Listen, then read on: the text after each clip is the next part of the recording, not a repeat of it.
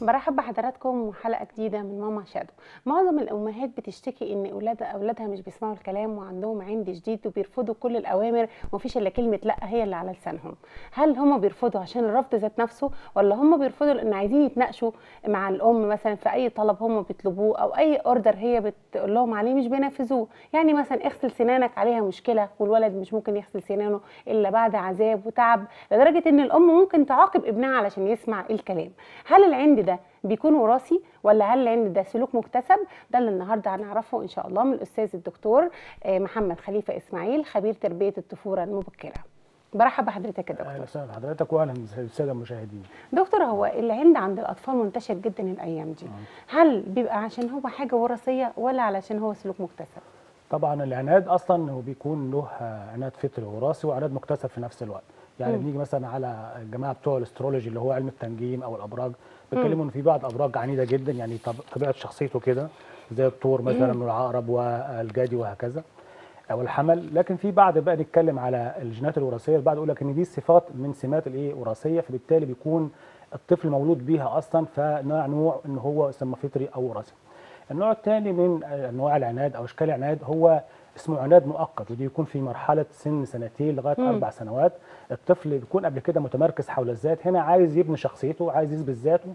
حتى بنسميه ال toddler دوت ان هو حتى بنضرب المعلمات في إشكالية عند هذا الطفل بيحاول يثبت ذاته. كل حاجة يقول لك دي بتاعتي وعايز يسيطر على كل حاجة فهو عايز يظهر شخصيته هنا. وبالتالي إحنا لازم نديله المجال إنه يثبت شخصيته. فالخبراء بيقولوا إن هذا الطفل. بنسميه عنيد لكنه بنسميه strong-willed child يعني طفل قوي الإرادة.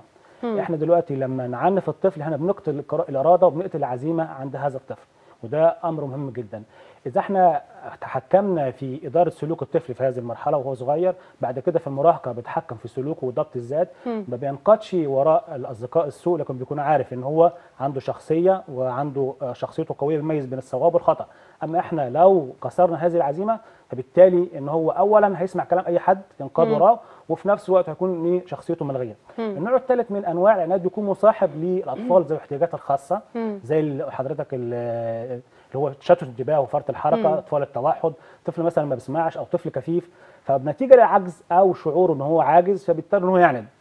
أيضا لو ح- طفل تعرض لصدمة نفسية ممكن هو يقلل له الايه آه، العناد فده أنواع من أنواع العناد لكن في نقطة مهمة جدا إن هو الاوبوزيشنال defiant child اللي هو اسمه الطفل المعارض المتحدي. البعض بيعتقد إنه طفل عنيد أو بيشخص المرض مش عارفين له تشخيص. الطفل ده ما يسمعش الكلام مطلقا بيكسر الدنيا كلها بيخربها وده بيحتاج تشخيص قوي ودقيق.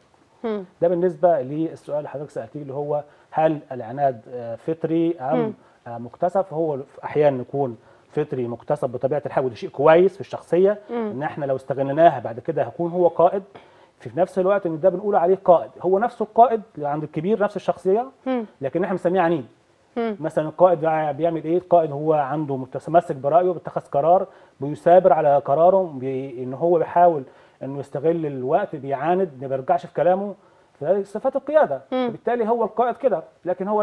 إحنا هنسميه عنيد فإحنا لو استغلينا آه هذه الصفات بطريقة إيجابية مع الطفل بالتالي يكون قائد في آه المستقبل انما عنده القيادة. إيه سبب العند يا دكتور؟ اللي يخليه الأطفال اللي عندهم عند آه بشدة؟ ده بقى اللي هي الاسباب لو ما كانش في شخصيته. مم. إذا كانش الطفل في شخصيته طبيعته إن هو أصلا عنيد وده شيء إيجابي لكن هيكون نتيجة لتربيتنا ونتيجه لسلوكياتنا مع الطفل أول حاجة اللي هو التسلط والعنف مع الطفل أو نفس الوقت التدليل الزيادة. يعني دايما أشتمه دايما أضربه. أو في نفس الوقت بدلعه يعمل كل حاجة بنفسه بيعمل أي شيء هو عايزه ما بعلقش على سلوكه. تاني شيء اللي هو الخلافات الزوجية باع بين الام والأب الطفل طول النهار شايف فيه صراعات شايف فيه خلافات الطرفين آه، متشاحنين فالطفل بالتالي بيلجأ إنه يعند وأيضا يؤدي إلى صعوبات تعلم وانحرافات سلوكية. الشيء الثاني التضارب في المعاملة يعني الأب آه، يكون آه، حنين والأم شديدة أو العكس صحيح الطفل. يحب الطرف اللي هو اللي حنين معاه ويفتكر إن هو اللي بيحبه ويكره الطرف الثاني ثم بعد كده تؤدي إلى العناد وانحرافات سلوكية في المراهقة مخدرات وما إلى. ذلك بسبب التضارب في الايه آه، هذه المعاملة. الأمر الثاني إنك أنت بتختار وقت ممكن الطفل فيه بيلعب وأنت بتطلب منه طلب وهو منشغل فيه فبالتالي لازم قبلها بنمهد له آه، إنه إزاي ان هو آه، في حاجة هقولها لك دلوقتي لو تحاول إن أنت هتعاندي مع الطفل اولا أنت هتخسري المعركه. وبالتالي هو هيكون برضه هينفذ كلامه وبيؤدي إلى زي ما إحنا قلنا الكسر ال- ال- السلوكي يعني. فبنسميه الطفل قوي الإرادة يعني إن ده ودي ميزة لو كان هو عندنا طفل عنيد. لكن كل الأشياء دي السلبية أو أيضا اللي هو التقليد أنت بتدي الطفل أوامر على طول لازم تنفذها. ليه يا ماما أو ليه يا بابا؟ مفيش حوار. هو بالتالي بيقلدك هينفذ مفيش حوار. الطفل بيشوف أبوه وأمه بيعندوا قصاد بعض. برضه هيكون هي نفس الشيء هيعند الشيء الثاني التبعية الزياده عدم تحمل المسؤوليه يعني الطفل واجد أبوه أو مامته أو الخدامة مثلا بتعمل له كل حاجة في البيت وهو مش متحمل أي مسؤولية. فبالتالي هيؤدي أيضا إلى آه، العناد. كل دي أسباب عناد مش مش إيجابية لأنها مش في شخصيته إنما هي ناتجة لسلوكيات خاطئة في التربية. أما لو كانت في شخصيته فده شيء كويس. أنا أفتخر ادي الطفل خيار والحرية والاحترام وبالتالي هو هيكون قائد بعد كده في المستقبل. أما لو أنا أجبرته طبعا هدمره تماما وهنعكس عليه بطريقة سلبية فين في المراهقة. زي ما إحنا قلنا يكون هو طفل ضعيف. لكن في المراهقه هيجي يتنمر علينا ويعمل مشكلات سلوكية بعد ذلك. فدي كلها من الأسباب الشديدة جدا اللي بتؤدي إلى إن الطفل يكون عناد نتيجة ليه؟ لتربية خاطئة. أما إذا كان في طبيعته تبقى حاجة كويسة جدا. مم. دكتور مشكلة العناد موجودة في كل أسرة. تحب تقول إيه لأي أسرة بتؤرقها مشكلة العناد؟ يعني كعلاج أم ان إحنا لا تحب تقول لهم آه. إيه يعملوا إيه يعني؟ طبعا بالنسبة آه، في شيء مهم جدا بالأسباب العناد نسيت أقولها برضو عدم مم. تلبية احتياجات الطفل. ممكن الطفل يكون آه، عنده مريض أو جوعان أو م- يعني مش بيشعر بجوع أو عنده شيء معين فممكن يعني في ذا- نفس الشيء. الطفل أيضا إن هو مش عارف يعبر بالكلام. في بعض الاطفال لا، عندها قدراتها اللغوية ضعيفة فممكن يعند عشان يعبر بالكلام. بقول لأولياء الأمور إذا كان الطفل هو نفسه عنيد طبعا في 2 ل 4 ما تقوليش طفل عنيد. من 2 ونص لغاية 3 ونص بعد أطفال في الرينج بتقولش ده عنيد ده يعني. فترة مؤقتة لازم أنا أستغلها علشان أربي فيه القيادة. أديله خيارات معينة. أنا رايح أجيب بنطلون مثلا تف- لأن أنت فرض رأيك ليه تشتري بنطلون؟ هو عايز يلبس الجزمة بنفسه ما تخليه يلبس الجزمة بنفسه. لكن لو في سلوكيات هتضره زي مثلا يركب يربط حزام السيارة أو شيء إن هو هيموت أو شيء حرام لازم هنا أتدخل يعني يديله. مساحة إن هو يقول رأيه. مساحة من الحرية واختار. ده من نوع من نوع ال tricks الخدع إن هو دايما إن هو يحسسه إن هو اختار. هو مثلا مش بيحب الفاكهة. ما تقولوش كل الفاكهة دي. ده بتقول له مثلا تحب تاكل موز ولا تفاح هو يحس إن هو كده بيختار.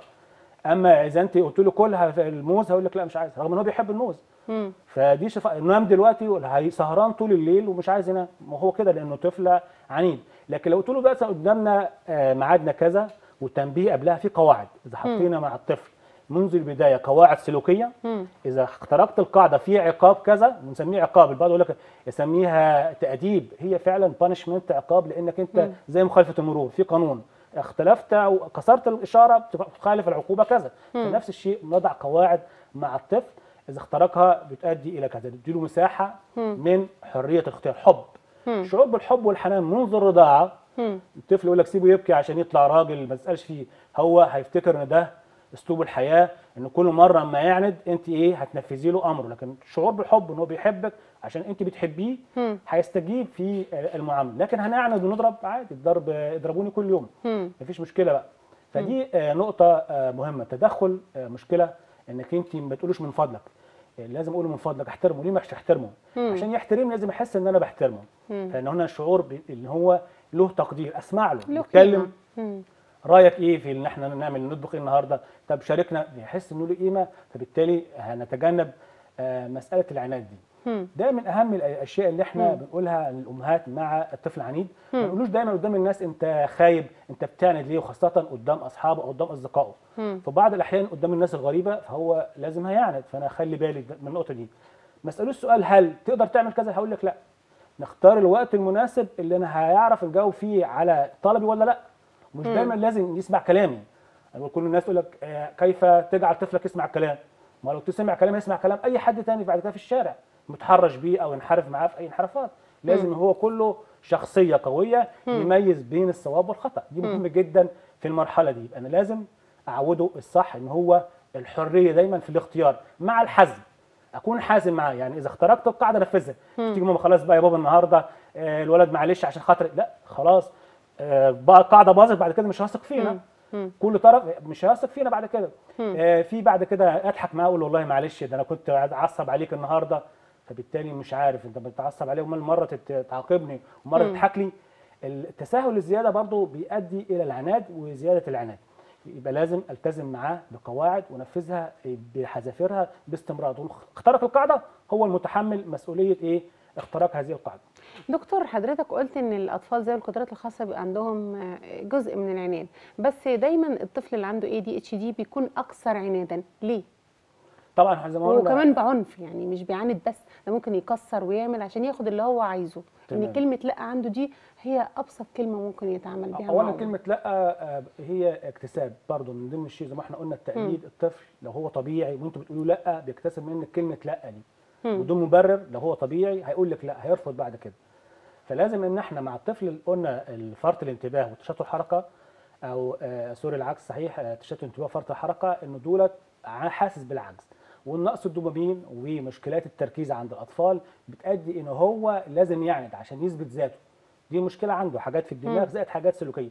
مش الطفل اللي, اللي عنده تشتت انتباه فقط بل الأطفال كلهم اللي عندهم إعاقات بيحس بالعجز. فبالتالي يعند عايز يثبت شخصيته أمام الآخرين ويعوض هذا العجز.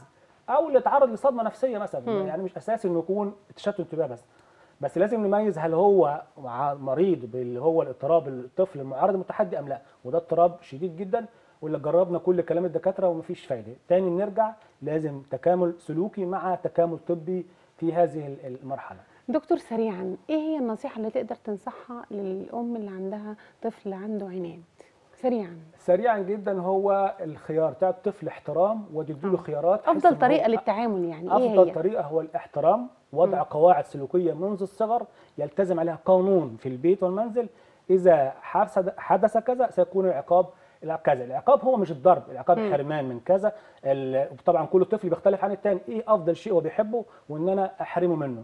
ده شيء اللي هو قواعد.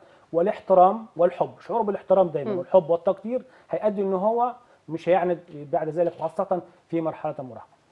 دكتور في نهاية الفقرة بشكر حضرتك واستمتعنا جدا باللقاء مع حضرتك. أهلا بيك وشكرا للسادة المشاهدين شكرا لكم بشكركم وأشوفكم بعد الفاصل.